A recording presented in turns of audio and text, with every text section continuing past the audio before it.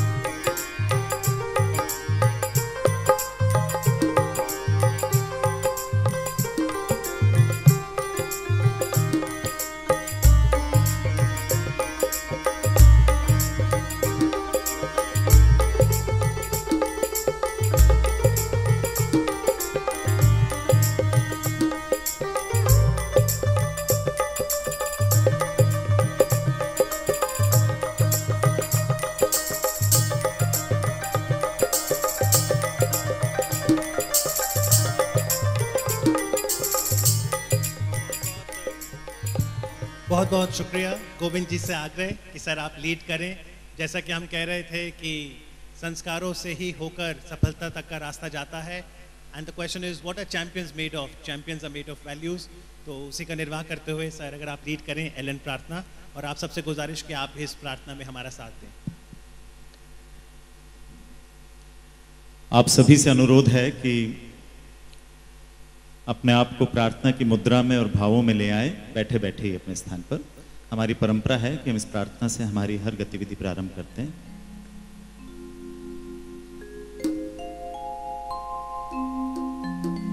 इतनी शक्ति हमें देना दाता,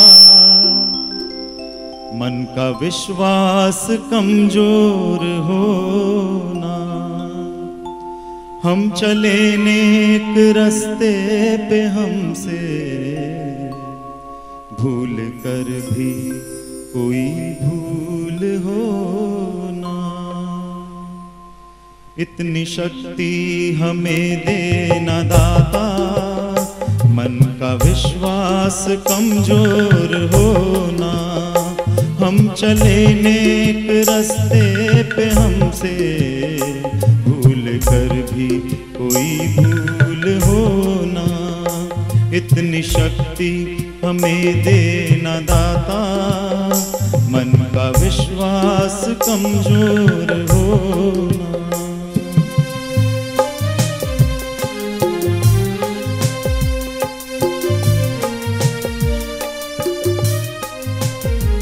दूर अज्ञान के हो, अंधेरे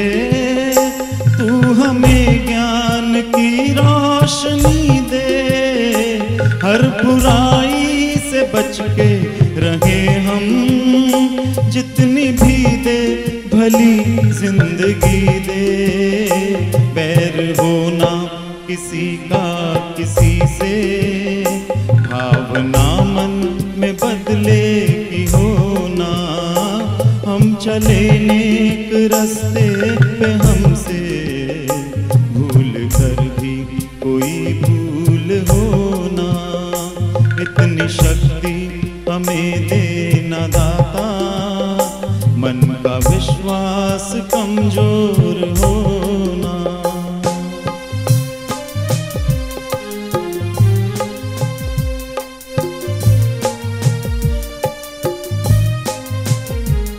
न सोचे हमें क्या मिला है। हम ये सोचे किया क्या है अर्पण। फूल खुशियों के बांटे सभी को। सबका जीवन ही बन जाए मधुबन। अपनी करुणा का जल तू बहा के कर दे पावन चले नेक रास्ते पे हमसे। भूल कर भी कोई भूल होना इतनी शक्ति हमें देना दाता। मन का विश्वास कमज़ोर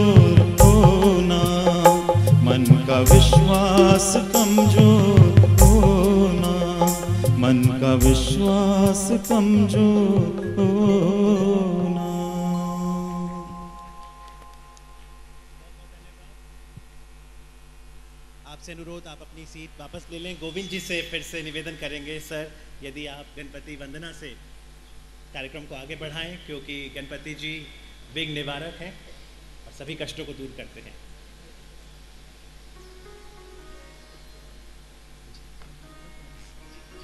हमारी भारतीय संस्कृति की परंपरा है कि परम प्रथम आराध्य भगवान गणेश जी को सबसे पहले आह्वान करते हैं, उनकी वंदना करते हैं। तो आइए आप और हम सब मिलकर आज के इस चैंपियंस डे के अवसर पर भगवान गणेश जी को पूरे मन से, पूरे भावों से यहाँ पर इस भजन के माध्यम से आह्वान करें। मुझे पूरा विश्वास है आप सब भी इस आह्वान में मेरे साथ जुड़ेंगे अपनी तालियों के साथ। और हम सब निश्चित रूप से आज के इस कार्यक्रम को बहुत ही आनंद से और उल्लास से संपन्न करेंगे।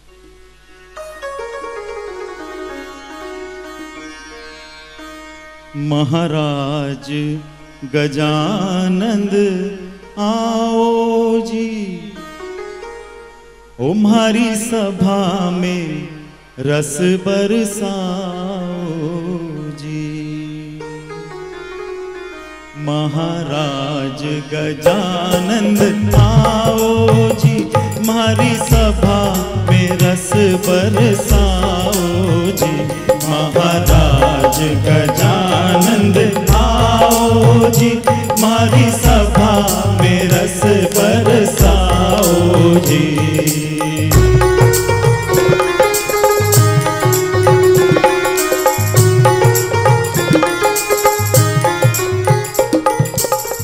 रणत भंवर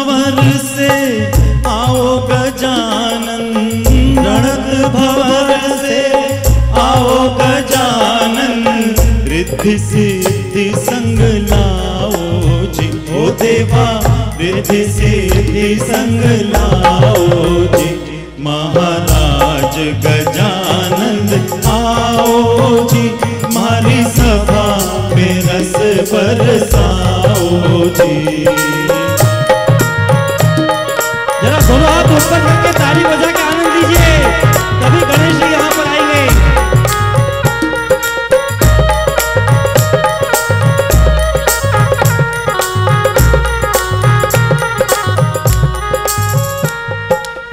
चंदन चौकी, आप विराजो चंदन चौकी, आप विराजो भक्ता ने दर्श कराओ जी। ओ देवा, भक्ता ने दर्श कराओ जी। महाराज गजानंद आओ जी। हमारी सभा में रस बरसाओ जी।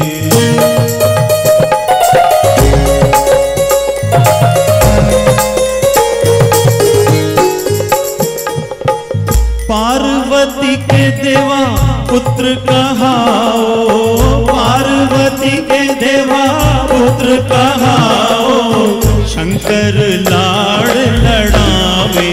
जी ओ देवा शंकर लाड़ लड़ावे। महाराज गजानंद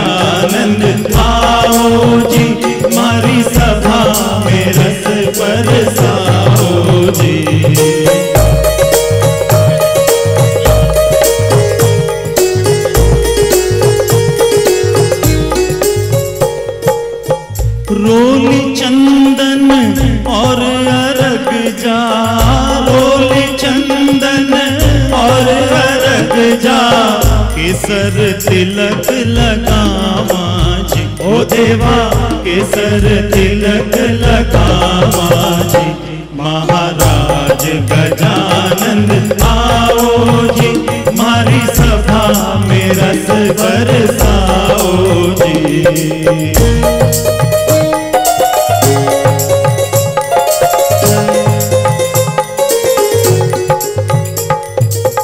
चुन चुन कलियाँ हार बनावा। चुन कलियाँ हार बनावा, प्रेम सहित पहनावा जी। ओ देवा, प्रेम सहित पहनावा जी। महाराज गजानंद आओ जी, मारी सभा में रस बरसाओ जी।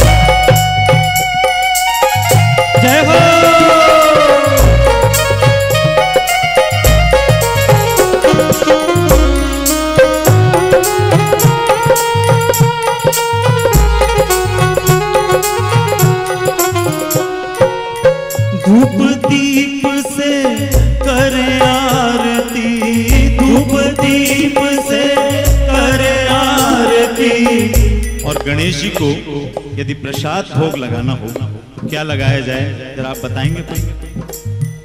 बोल के बताएँगे या इशारे से बता दीजिए हाथ ऊपर करके? कितनों को पता है? जो आपको भी प्रिय है। मोदक? वेरी गुड किसी ने लड्डू बोला, किसी ने मोदक बोला। सभी को पता है। गणेश जी को क्या प्रिय है? मोदक। धूप दीप से करे आरती, धूप दीप से करे आरती।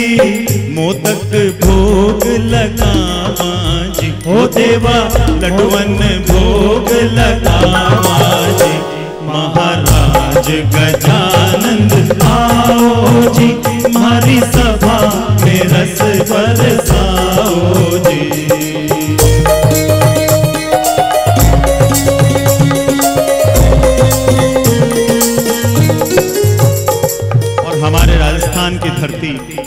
उसमें भी मेवाड़ की धरती, शक्ति की और भक्ति की धरती, वहाँ की मीराबाई को एक बार आप ध्यान करिए।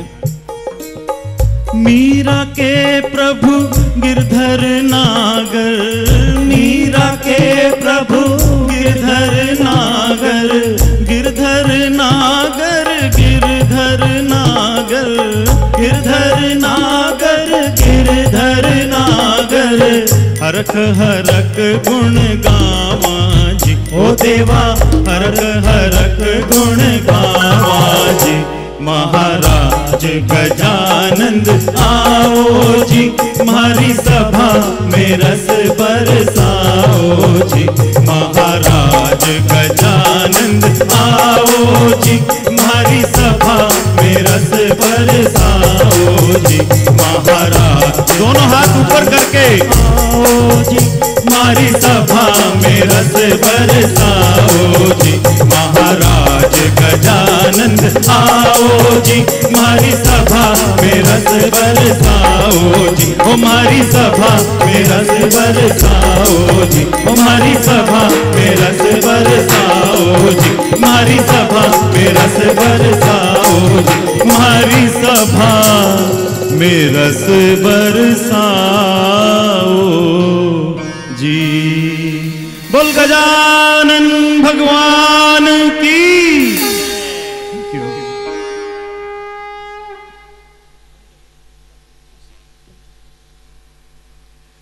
बहुत बहुत शुक्रिया, गोविंद सर, ब्रिजेश सर, और वाकई अब हमारे साथ गणपति का आशीर्वाद भी है। बहुत बहुत आनंद आया आपकी खूबसूरत आवाज़ में गणपति वंदना सुनकर। और आज इस शाम फेलिसिटेशन सेरेमनी में हमारे साथ कई गणमान्य व्यक्ति मौजूद हैं। और इस समय मैं आग्रह करना चाहूँगा ब्रजेश महेश्वरी सर से कि कृपया फूलों से आप स्वागत करें नरेश बुंदेल जी का। नरेश जी आज हमारे साथ हैं assistant commissioner central excise and service tax department से। ब्रजेश सर, फूलों से अभिनंदन कर रहे हैं नरेश जी का। बहुत बहुत शुक्रिया नरेश जी, आपकी उपस्थिति हमारा मनोबल बढ़ाती है। और यहाँ पर हर्ष से मैं आप सबको सूचित करना चाहूँगा क्योंकि नरेश जी सेंट्रल एक्साइज और सर्विस टैक्स से हैं, कि आपके अपने एलन करियर इंस्टीट्यूट को पिछले साल कंप्लायंस के क्षेत्र में सर्विस टैक्स विभाग से बेस्ट असेसी का अवार्ड मिला था। पे टैक्स करो रिलैक्स अब मैं गुजारिश करूँगा डॉक्टर के जी वैष्णव से head of department biology L Allen career institute कि वह डॉक्टर अनामिक शाह जी का फूलों से स्वागत करें। Doctor Anamik Shah vice chancellor Gujarat Vidyapith Ahmedabad बहुत बहुत शुक्रिया डॉक्टर अनामिक शाह साहब। मैं चाहूँगा कि श्री सक्सेना सर फूलों से अभिनंदन करें, श्री के एम टंडन जी का। के एम टंडन जी आज हमारे बीच यहाँ मौजूद हैं। Senior vice president and business head D S C L Kota बहुत बहुत शुक्रिया टंडन साहब। Head of chemistry department Saxena sir उनका फूलों से अभिवादन करते हुए। जैसे जैसे शाम आगे बढ़ेगी सस्पेंस खुलता चला जाएगा। किसी भी सस्पेंस फ़िल्म में तीन घंटे के इंतज़ार के बाद पता लगता है कि सस्पेंस क्या था। और यदि आपने जो आंकलन किया वो है तो बहुत अच्छा। और अगर वो नहीं है तो बाहर निकल के आप कहते हैं पिक्चर सुपर हिट थी। तो जैसे जैसे कार्यक्रम आगे बढ़ेगा, हम आपको बताते जाएँगे कि क्या क्या और आकर्षण आपका इंतज़ार कर रहे हैं। लेकिन फ़िलहाल मैं अरना और ग्रुप को स्टेज में आमंत्रित करना चाहूँगा। सरस्वती वंदना के लिए। आइए माँ सरस्वती का आशीर्वाद लें।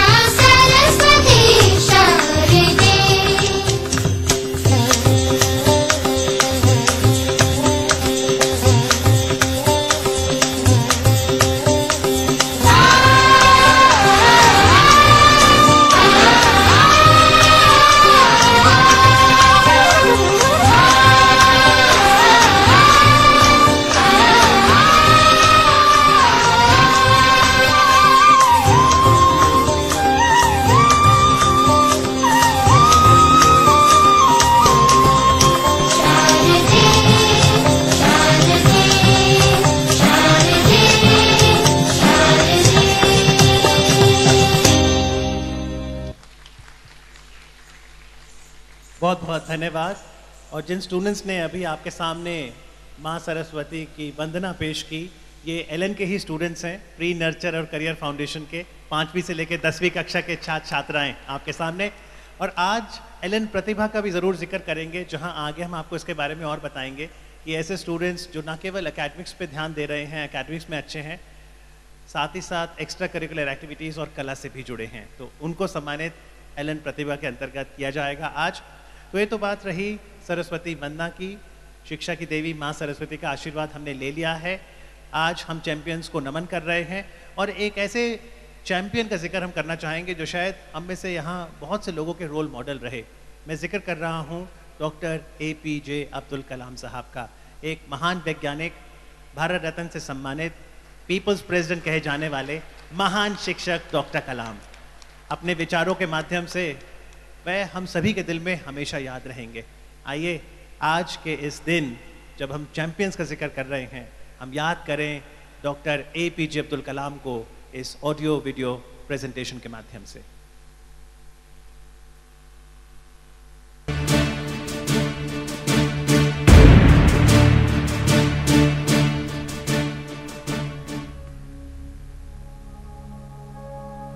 मेरी कहानी मेरे साथ खत्म हो जाएगी। क्योंकि दुनियावी मानों में मेरे पास कोई पूंजी नहीं है। मैंने कुछ हासिल नहीं किया, जमा नहीं किया। मेरे पास कुछ नहीं। और कोई नहीं, न बेटा, न बेटी, न परिवार। मैं दूसरों के लिए मिसाल नहीं बनना चाहता, लेकिन शायद कुछ पढ़ने वालों को प्रेरणा मिले कि अंतिम सुख रूह और आत्मा की तस्कीन है।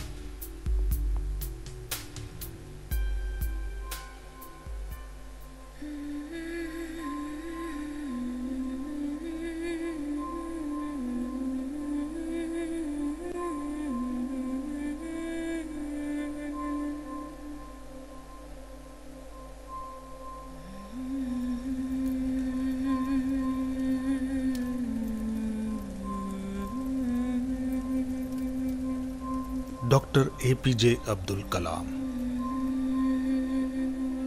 Doctor Kalam ने अपना पूरा जीवन देश सेवा में समर्पित किया।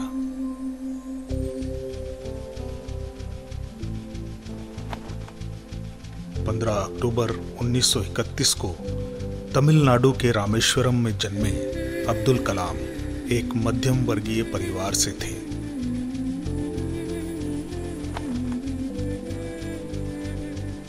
सात भाई बहनों वाले परिवार में कलाम साहब सबसे छोटे थे।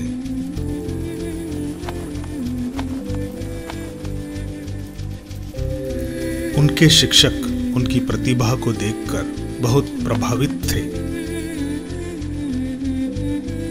डॉक्टर कलाम के जीवन में महत्वपूर्ण मोड़ तब आया जब वे 1962 में भारतीय अंतरिक्ष अनुसंधान संगठन, यानी इसरो से जुड़े। त्रिशूल, पृथ्वी, आकाश, अग्नि, ब्रह्मोस आदि मिसाइलों की सफलता हो, या फिर 1958 में सफल परमाणु परीक्षण।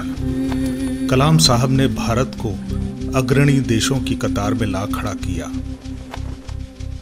भारत को अंतरिक्ष और रक्षा के क्षेत्र में आत्मनिर्भर बनाने में डॉक्टर कलाम का विशेष योगदान रहा। उन्नीस में डॉक्टर कलाम को भारत के सर्वोच्च पुरस्कार भारत रत्न से सम्मानित किया गया। 25 जुलाई 2002 को डॉक्टर कलाम भारत के 11वें राष्ट्रपति बने।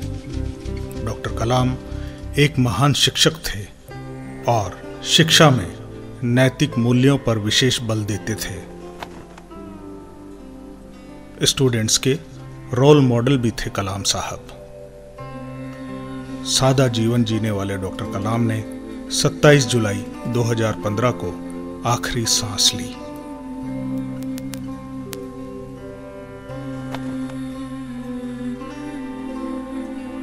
हम सभी उनके महान व्यक्तित्व से प्रेरणा ग्रहण करते रहेंगे।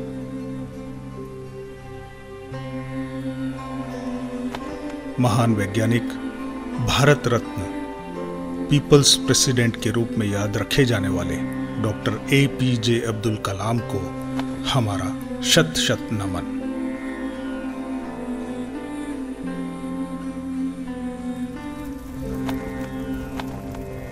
ज़िंदगी कामयाब होने और नतीजे हासिल करने के लिए तीन ताकतों पर काबू पाना बहुत ज़रूरी है। ख्वाहिश, यकीन और उम्मीद।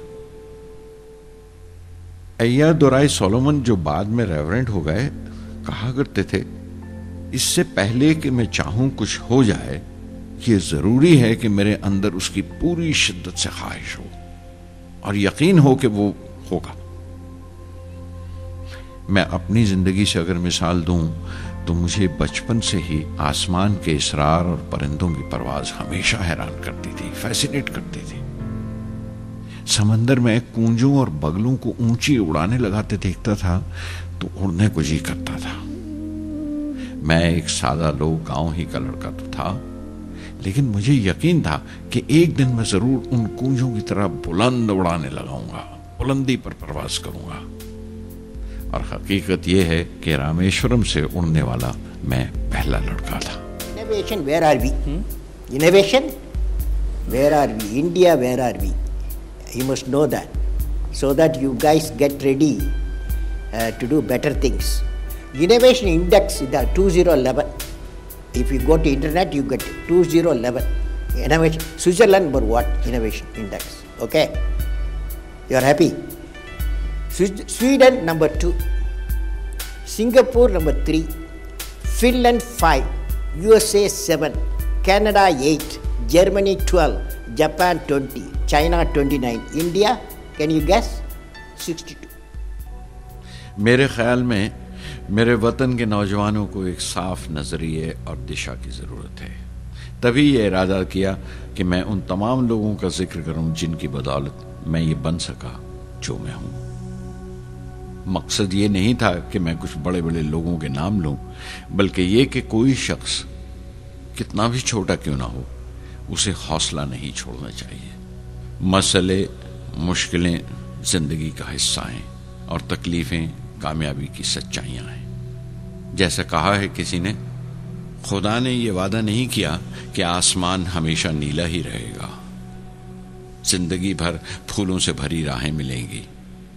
खुदा ने यह वादा नहीं किया कि सूरज है तो बादल नहीं होंगे, खुशी है तो गम नहीं, सुकून है तो दर्द नहीं होगा।